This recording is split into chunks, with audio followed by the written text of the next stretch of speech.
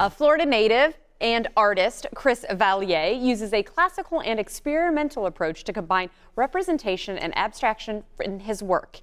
Valle's artwork has been featured across the globe. His paintings have hung in over 130 exhibits from New York to Germany and now again in Tampa Bay. Welcome, Chris. I always hate trying to like put words as I'm reading on the screen to describe the artwork, for instance, that we're seeing behind you. But this this exhibit, I mean, it really word-wise seems like a lot, but you say this is something that you've always kind of built your career around. Explain what we're talking about a little bit. Well, I just you know think that um, what we see on television, what we see in advertising, basically constructs reality for the masses. Um, we're seeing this image over and over and over again. We just accept it as reality when in it's far from reality. It's it's something that's already pre-made, predetermined.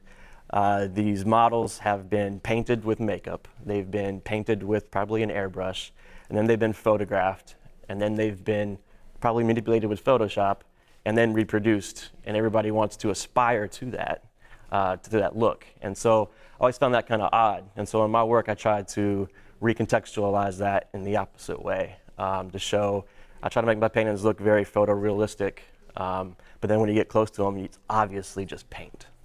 You know, it's interesting right now what's going on in society. And you and I were talking about the break, that obviously that's on the forefront of so many people's minds. But this was something, an idea that you had when you even began your career many years ago. What was it about this reality versus perception thing that really kind of motivated you and, and became your muse, if you will?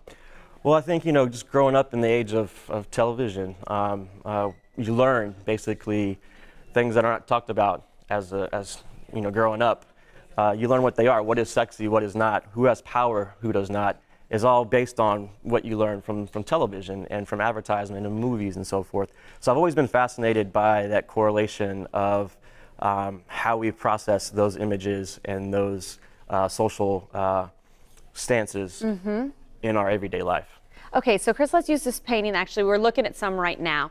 I mean, obviously, I see the, the Chanel logo right there, for, first and foremost, over a skull. Talk about these paintings and how they kind of go with the message that you were just describing. Well, in the skull paintings, you know, it's kind of dealing with um, is beauty only skin deep? You know, mm -hmm. everybody wants to get these expensive uh, items because of just the brand that they are. Um, but in the end, you know, we're all going to be left, we're all just going to be a skull uh, at the end. And so I was kind of really trying to play on that duality between beauty and uh, death in a way. I'll say, oh, I see the Louis Vuitton there and says, and now let's talk about this one behind you. Again, I see the Louis Vuitton, but her lips are kind of mass out. Am, am I just interpreting that, or is that the message you were going for in this No, that's um, basically, I'm really interested in when absence can have a presence. And basically, because uh, we just accept these images as reality, we don't kind of question them, although we know that they've been manipulated um, we tend to uh, not have a voice in the construct of that reality. And so having the voice, the, the mouth missing, she is voiceless. Louis Vuitton is speaking for her. And then the head is not complete. You know, there's no thought that's happening in the construct of this reality. Uh, again, I mean, that is very, very eye-catching. I absolutely loved that piece there when you had it brought into the studio. And we do want to talk about how people, though, can see more of your artwork and the show that you have going on right now in Tampa Bay. So please share some of the details with us, if you will.